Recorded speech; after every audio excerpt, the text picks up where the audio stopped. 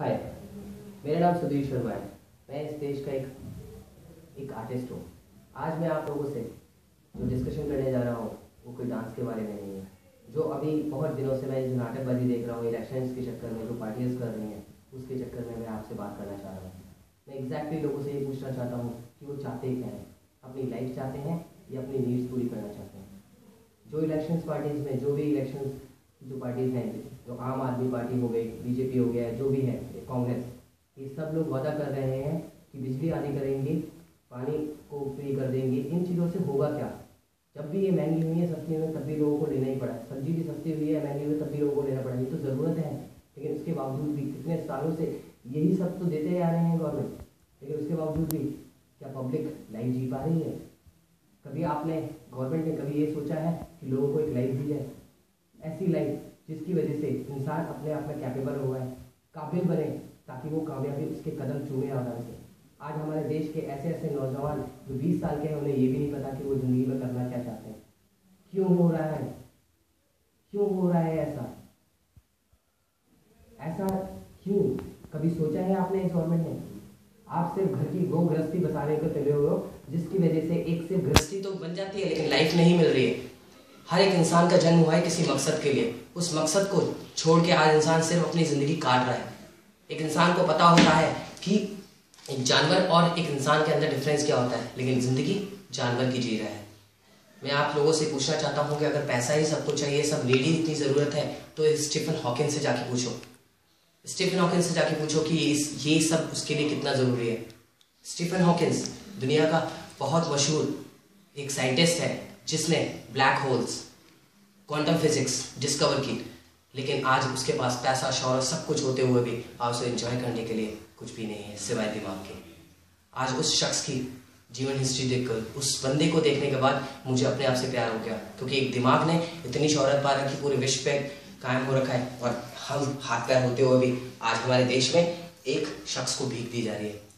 मैं इंसान को ये कहना चाहता हूँ कि आपने कभी सोचा है गवर्नमेंट ने कि एक भिखारी को ऐसी लाइफ दी जाए कि वो भी कैपेबल हो पाए, कि एक फॉरेन ट्रिप कर पाए अपनी तरफ़ से। ऐसा कभी सोचा है आप लोगों ने? है? सिर्फ़ हमें बिजली दे दो, पानी दे दो, है? दवाइयाँ सस्ती कर दीजिए, इन चीज़ों से करके आप क्या अपनी ज़िंदगी में पाना चाहते हैं? आपको लाइफ नहीं मिलेगी। ऐसा कुछ कीजिए कि एक भिखारी को भी रोज़गार मिले। एक भिखारी भी इनकम टैक्स पेयर बने। अगर आपके पास आइडियाज़ नहीं है किसी को क्रिटिसाइज करने से आप अपने आप को बेहतर बताते हैं तो ये गलत है। लेकिन अगर आपके पास प्रोग्रेसिव आइडिया है तो हमसे डिस्कस कीजिए। नहीं है तो प्लीज़ हमसे भी ले लीजिए। इस वीडियो को बोलने के लिए, इस वीडियो को इतना शेयर करो कि मोदी साहब तक ही पहुँचे, क्योंकि उनसे मैं एक ही बात बोलना चाहता हूँ। Please don't make money don't make records create history आपके हाथ में है। एक ऐसी इतिहास रच दीजिए, जिसकी वजह से लोग कहें कि जब मोदी की सरकार आई थी तो इतिहास रचा गया था। इंडिया फिर से एक सोने की चिड़िया कहलाई गई थी। मैं सिर्फ़ इतना ही चाहता हूँ कि मैं आप भारतवासियों से प्रॉमिस करता हूँ कि आपका ये बच्चा जब बाहर जाएगा तो कभी किसी का, आपके देश का नाम रोशन, अपने देश का नाम हमेशा रोशन करेगा। लेकिन क्या आप मुझे वादा करते हैं कि मेरे देश का नाम रोशन आप करोगे, मेरा घर साफ़ रखेंगे? अगर आप सफ़ाई चाहते हैं तो प्लीज़ हर एक शख्स को इंडिया में एक कंपलसरी कर दीजिए कि उसे एक फॉरेन ट्रिप साल में करना है, नहीं तो नेशनलिटी कैसे? जब तक वो लोग बाहर जाके देखेंगे नहीं, एक साफ़ कंट्री कैसे होती है, उसे मेंटेन कैसे किया जाता है, कैसे सीखेंगे?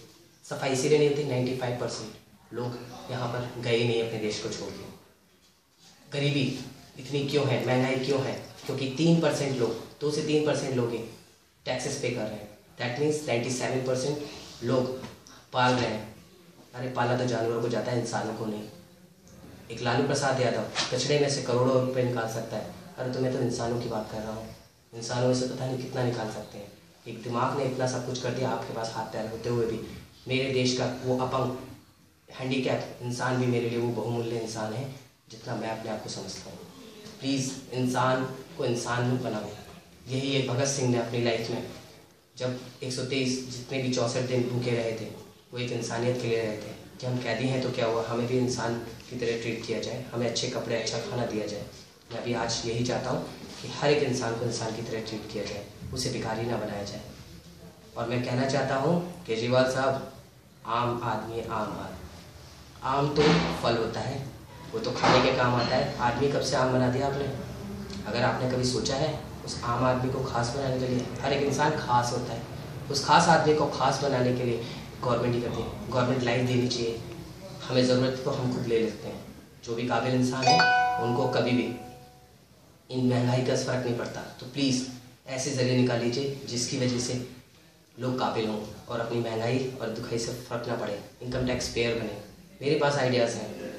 अगर आपके पास नहीं है तो प्लीज़ हमसे लीजिए, हमसे पूछ लीजिए। अगर आपको पसंद आता है तो कीजिएगा। अगली वीडियोज़ में मैं आपको बताऊँगा कि प्लीज़ क्या मेरे आइडियाज़ हैं? एक बार सुनिए तो सही। मैं आपको बहुत टाइम से मिलना चाह रहा हूँ लेकिन नहीं कर पा रहा। प्लीज़ इतना शेयर करो कि हमारे प्रधानमंत्री जी के पास, श्री नरेंद्र सिंह मोदी सर के पास तक एक कान के बाद पहुँचे। प्लीज़ रश दीजिए लिहाज इस बार। Please thank you so much जय हिंद।